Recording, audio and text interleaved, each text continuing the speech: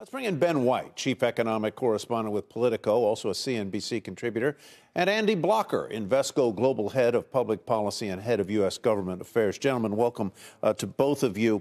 Uh, ben, let me start with you. How much of this is really a legitimate budget proposal, and how much of this is uh, the beginning of the of the Biden platform for reelection in 2024?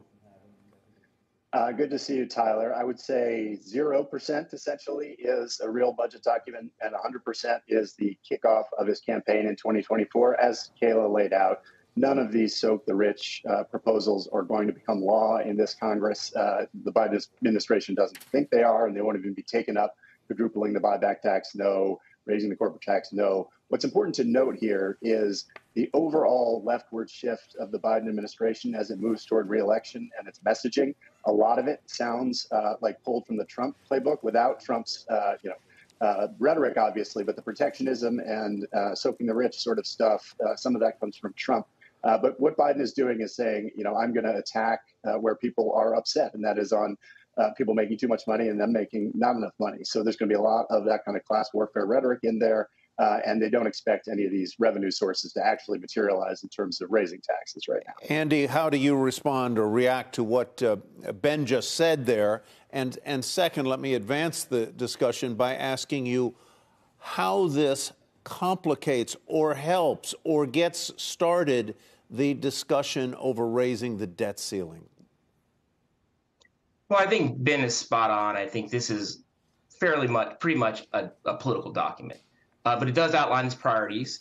Um, and it says, hey, I can reduce the deficit uh, without hurting uh, Medicare and Social Security and do it without raising taxes on those making under $400,000. Those are his talking points. But I, what I do think it does, and I think you've hit this yourself, is it starts the actual drawing of lines in the sand with respect to the debt ceiling debate. We've had, you know, meetings at the White House and different discussions, but we really haven't gone into negotiation. This is the first shot across the bow, and it says, "Hey, I've got my budget. Over to you, Republicans. Please show your hand. What are you willing to cut?" And so far, the Republicans, as I understand it, have not done that. Am I right, uh, Andy? That's right. They haven't, they haven't done so far. Um, they haven't showed their hand, and even in the State of the Union, you saw uh, President Biden pull them out and say, "Hey, you do you really want to cut uh, Social Security and Medicare?" So I think they're on their heels right now in that, and they're going to have to come together. Look, I think they're going to try to do something. They have the, the House Budget Committee chair is intent on putting forward a budget, but then you're also going to have the House Republican Study Committee, the House Freedom Caucus, and you have all these different budgets from different Republicans. And the tough job is going to be for Speaker McCarthy to bring all those ideas together get the caucus together and actually have the Republicans get the 218 to to, to vote on it.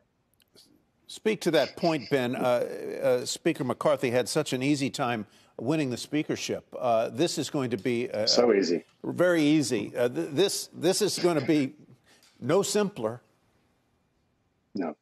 Yeah, Tyler, it's a mess, and they're they're nowhere on this. And Republicans will uh, call this dead on arrival and, and not an opening salvo that's worth anything and their time to look at. So we're nowhere on that. And McCarthy has a incredibly difficult path uh, ahead of him, partly because of the strictures he agreed to when he got the job, including basically one member uh, can raise an objection to his speakership and bring him down somehow he's got to corral 218 to get a uh, debt limit deal through.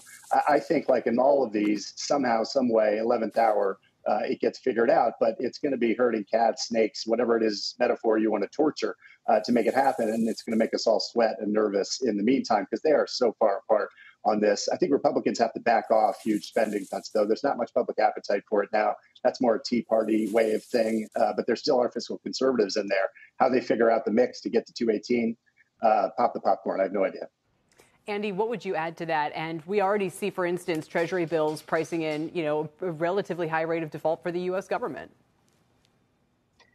Yeah, no, I think Ben's spot on. It's hard to see how we get from here to there. How first we, the Republicans get to 218, um, but they need to get to 218 if they're actually going to have have a negotiating position. If they don't do that, then President Biden can really put the pressure on to raise the debt ceiling without any kind of budget reforms. But if he gets to 218, that changes the game a little bit.